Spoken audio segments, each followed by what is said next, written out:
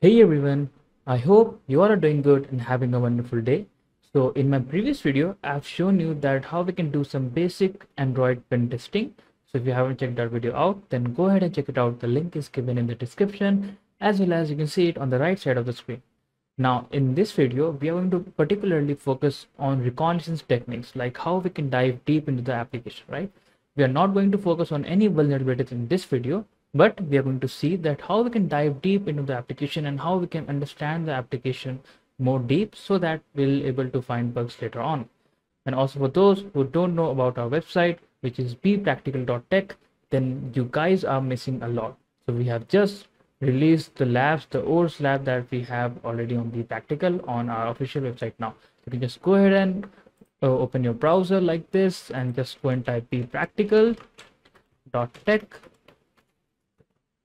like this.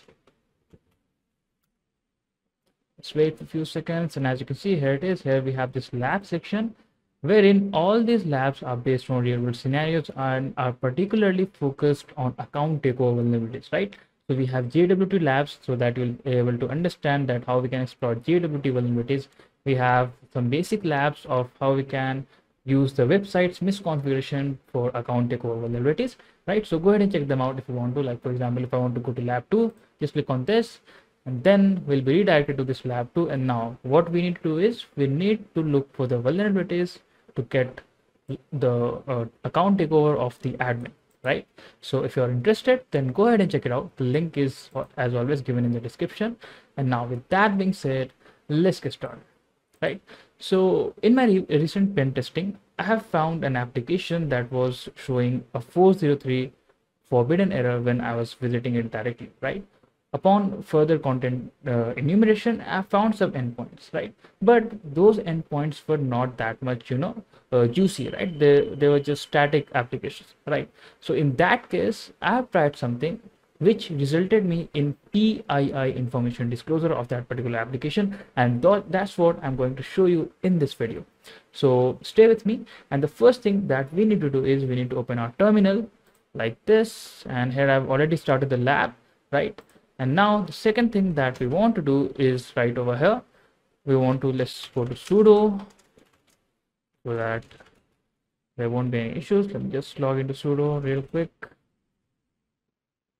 that is now what we want to do is we want to install an awesome tool which is known as cewl cewl right? You can just type sudo apt install cewl and minus y right? I'm going to tell you what this tool does but first let's try to install this. So as you can see in my case cewl is already the newest version right? Now here we have this application. Let me just open it on my local host so that you guys will see what this application is this is an application right? So it says that healthcare application and this says that an application designed for this particular group right? Or Zika group right? Something like this. Now as always let's try to dig deep uh, dig deeper and let's try to find some vulnerabilities or find some content first of all in this particular domain right? So i'm going to do dir search minus u and then i'm going to paste it like this. Let's hit enter and let's see what happens right as you can see the directory enumeration has been started right? So we all uh, usually do directory enumeration like this right? So let's wait for a few seconds till the scanning gets complete and then i'll get back to you.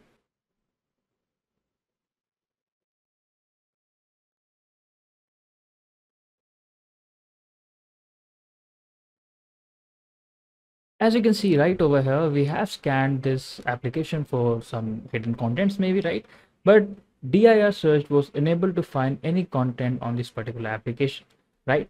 Now this can happen to you as well that you are trying to enumerate contents on a particular application but you didn't get any juicy information. But in those cases you shouldn't be giving up just now right?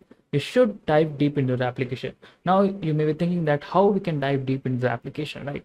So many times what happens is the application the developers basically uh, creates their own directories right? Create their own endpoints with some unique names right? That is unguessable by any word list or any you know uh, uh, directory enumeration tools right?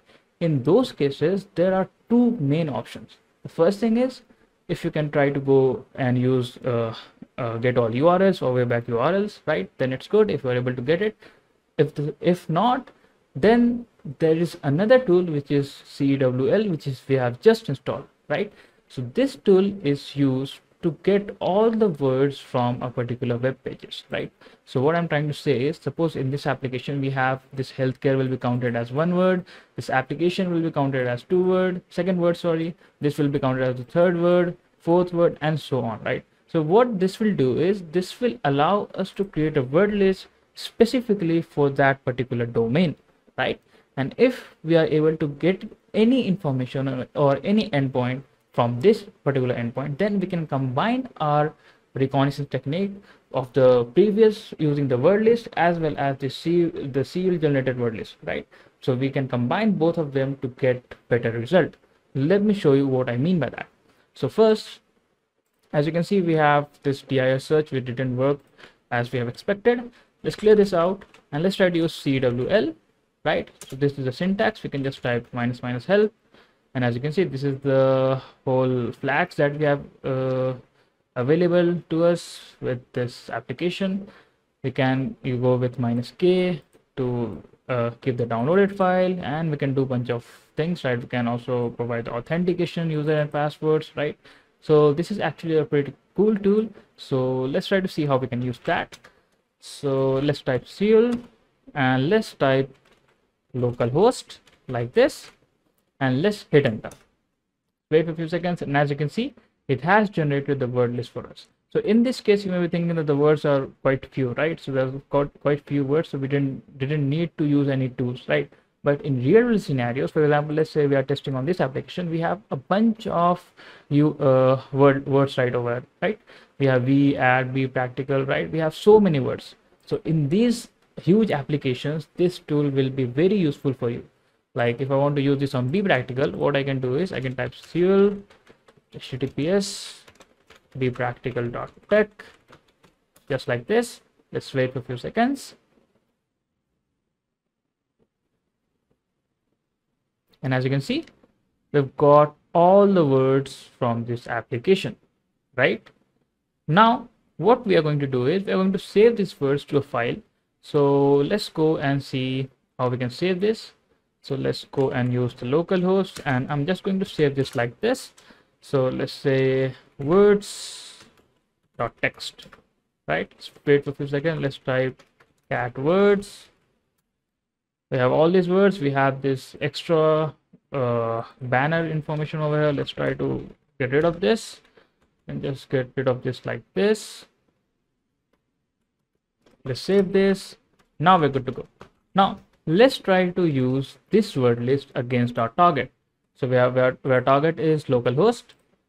Let's try to use this. So now this time i'm going to use ffff because it's more reliable for me. We can go with puff minus u. Specify the url localhost. Let's check fuzz.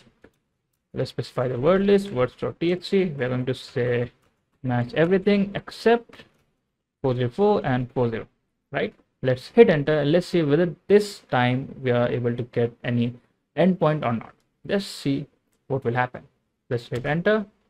As you can see right over here we are getting something right? As you can see we've got one status 200 right? Which means that this word this company name was actually used in the endpoint right? See this is the thing that i was talking about right? So normal word lists don't have this uh, potential to do things like this right? They have presets of predefined sets of words that they're going to try right? But if you're using serial with this particular tool then it will be very great for you and it will definitely result in more uh, endpoint more asset and therefore it will automatically increase the chances of getting your vulnerabilities right? Now let's try to visit this particular endpoint. Of zika just copy this let's paste it right over here.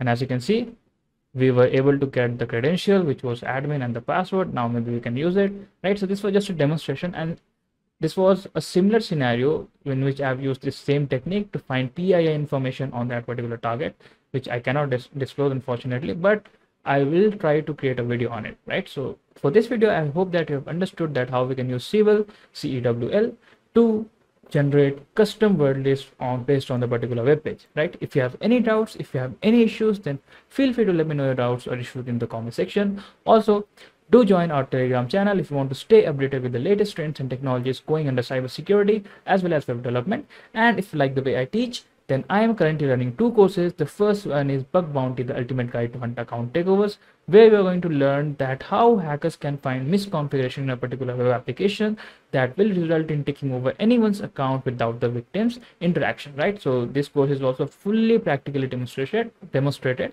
So if you are interested, then go ahead and check it out. The link is given in the description. The second course is Hacking Windows with Python, wherein you're going to learn that how hackers create their own custom tools that can be used to hack any Windows machine that can bypass any antivirus till now right? And that can use to do a bunch of interesting and malicious stuffs cool stuffs i may say that for example you can execute system commands you can upload and download files and you can do bunch of cool, thing, cool things right? So if you're interested then go ahead and check it out. The link is also given in the description for this course as well. And now with that being said keep learning keep hacking and thanks for watching